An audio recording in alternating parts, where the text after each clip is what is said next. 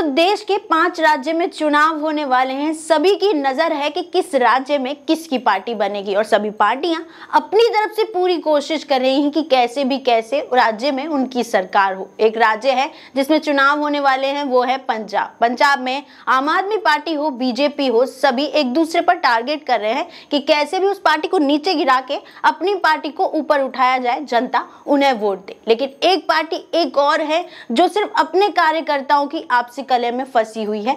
वो है अपने देश की सबसे बड़ी और ये कहे सबसे पुरानी पार्टी कांग्रेस। कांग्रेस हमेशा से अपने कार्यकर्ताओं के आपसी कलह में फंस जाती है। खासकर पंजाब में। पंजाब में नवजोत सिंह सिद्धू हैं जो सिर्फ़ अपनी ही पार्टी पे आरोप पे आरोप लगाते हैं। ऐसा लगता है कि कांग्रेस के नहीं है, सिद्धू किसी और पार्टी के सपोर्ट में है, लेकिन है कांग्रेस में। पर सपोर्ट हमेशा ऐसा लगता है उनका कि वो किसी और पार्टी को जिताना चाहते हैं। वैसे नवजोत सिंह सिद्धू हमेशा ऐसी हरकत करते हैं कि उनकी बातों पर सवाल खड़े होते हैं कि वो कांग्रेस को ही समर्थन दे रहे हैं या किसी और पार्टी को, या फिर वो अपने, अपनी ही पार्टी के वोट कटवा रहे हैं। क्योंकि नवजोत सिंह सिद्धू के ऐसे करने से, अपनी ही पार्टी में कलह करने से कहीं ना कहीं जनता को पता चलता है कि जब इनकी पार्टी में खुद ही एकता नहीं है तो ये जनता के साथ क्या अच्छा करेंगे? ताकि अपनी पार्टी में उलझे रहेंगे तो दूसरों को क्या भला करेंगे? ऐसा ही कुछ उन्होंने पिछली बार किया था। पिछली बार उन्होंने पूर्व सीएम अमरिंदर अमरिंदर सिंह को इतना परेशान किया था कि उन्होंने अपने पद से,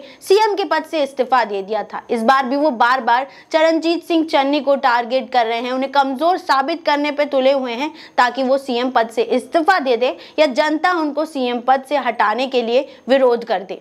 इस बार भी उन्होंने कुछ ऐसा ही किया है। इस बार उन्होंने लुधियाना में एक जनसभा को संबोधित करते हुए कहा है कि हाई कमान ऐसे व्यक्ति को सीएम बनाना चाहती है जो कमज़ोर है, जो जनता का भला नहीं कर सकता। जनता का भला, पंजाब का भला सिर्फ़ जनता ही कर सकती है ताकि वो अपनी मर्ज़ी से अपना सीएम चुन सके, जो पंजाब का विकास कर सके, भला कर सके। उनका सीधा सीधा हाईकमान से टारगेट था सोनिया गांधी पे। उन्होंने नाम नहीं लिया, लेकिन सीधा उन्होंने यही कहा कि ऊपर वाला चाहता चाहता है कि कोई कमज़ोर व्यक्ति उनके इशारों पर नाचने वाला सीएम बने। वैसे ये कोई पहली बार नहीं है कि नवजोत सिंह सिद्धू सीएम पद पर रहे लोगों को टारगेट कर रहे हैं। इससे पहले उन्होंने अमरिंदर सिंह को परेशान किया था। इस बार चरणजीत सिंह चन्नी को कर रहे हैं। वैसे देखा जाए तो ये साफ़ है कि नवजोत सिंह सिद्धू सीएम पद पे खुद को देखना चाहते हैं। अब वो साफ़ तौर पर ये बात तो खुद नहीं कहते, लेकिन समझने वाला समझ जाएगा कि वो बार बार एक ही पद को क्यों टारगेट कर रहे हैं। अब वो खुद सीएम बनना चाहते हैं तो शायद उन्हें सोनिया गांधी से खुद ही कह देना चाहिए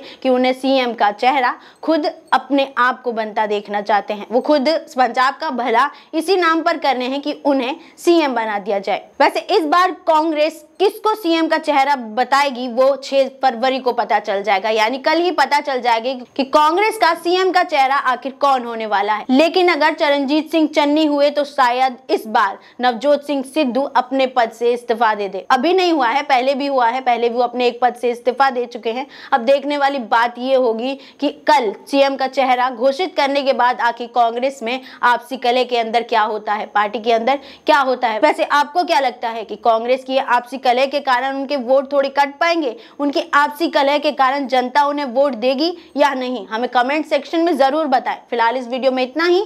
ज़्यादा अपडेट्स के लिए फॉलो करें और थम न्यूज़